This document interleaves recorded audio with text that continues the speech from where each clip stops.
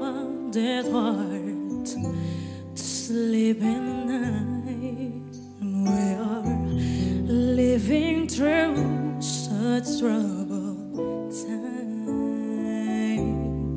And every child that reaches out for someone to hold for one